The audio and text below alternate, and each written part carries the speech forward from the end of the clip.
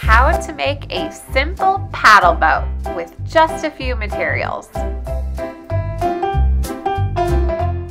Make sure to like and subscribe this video so other kids like you can find this STEM activity. Grab a small container and secure the lid nice and tight. Tape or glue on two popsicle sticks evenly on the side of the container. If you choose to use hot glue, make sure you use a low temperature hot glue gun so that you don't melt the container. Super glue works really well too since it's waterproof, but tape will work just as well for a short amount of time.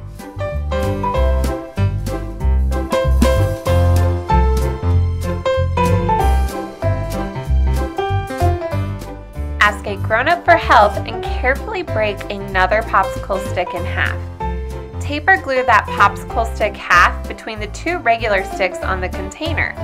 This will help the two sticks stay straight when the paddle is going.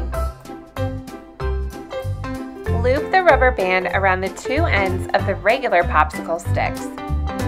Place the other broken half of the popsicle stick inside of the rubber band. While holding the rubber band in place, twist the popsicle stick up and around so it adds tension to the rubber band.